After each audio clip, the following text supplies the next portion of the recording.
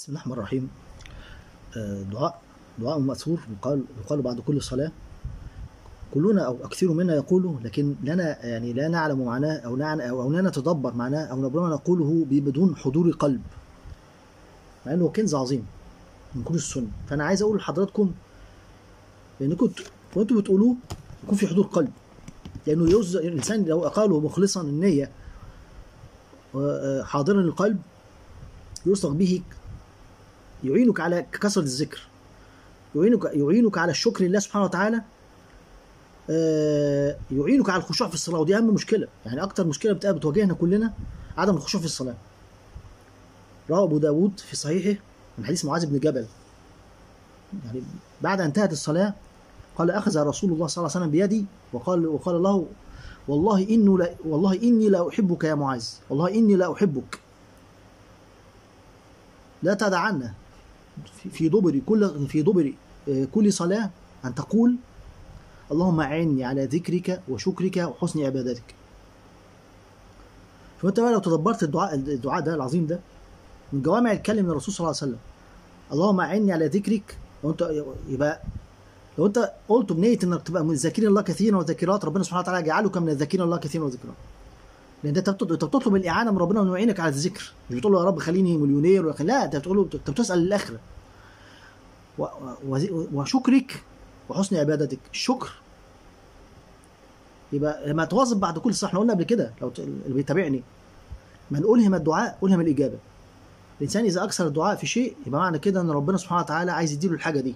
ربنا لما يكون عايز يديك حاجة يلهمك كثره كثرة الدعاء بهذا الشيء.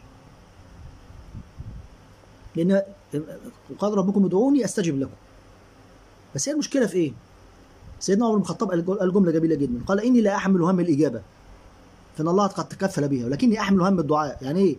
يعني هقول الدعاء إزاي؟ الصيغة اللي هقوله بيها إزاي؟ هل هكون حاضر القلب؟ هل هكون موقن بالإجابة ولا مش موقن بالإجابة؟ هل هكون هل هكون حاضر القلب ولا لاهي القلب؟ هو ده ف وشكرك تبقى مش شاكرين ولئن شكرتم لازيدنكم ولئن كفرتم إن عذابي لشديد. وقليل من عبادي الشكور. الشكر يبقى ربنا يحفظ النعم عليك وتزيد كمان. وحسن عبادتك وهي دي المهمه تشمل الصلاة والصوم.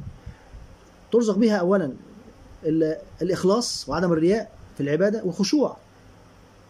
كلها يبقى, يبقى أنت لو واظبت على الدعاء ده بس مع حضور القلب واستحضرت الكلام اللي بقوله ده انت عايز تبقى مذاكرين الله كثيرا وذاكرات ان انت عايز تبقى آه، من الشاكرين عشان النعم ربنا يبارك في النعم وتزيد وعشان تأدي العبادة بإخلاص آه، وبدون رياء وتكون فيها خاشع فيها خصوصا في الصلاة. يعني الصلاة الإنسان لما خشعش فيها والعياذ بالله بتطلع للسماء وفيها سواد فالسماء بتتقفل ترجع له تاني تتلف خلقة خلقة سوداء ثم يلف بها خلقة سوداء ثم يلطم بها وجهه وتقول له ضيعتني ضيعك الله. فكلنا نعاني من من عدم الخشوع في الصلاة بدرجات متفاوتة. يبقى إذا لو أنت واظب على الدعاء ده واستحضر الكلام اللي بقوله ده عشان آه، ربنا سبحانه وتعالى يعينك على آه، الخشوع في الصلاة. وأيضا المناقب اللي إحنا قلناها. قولوا قولي هذا استغفر الله لي ولكم.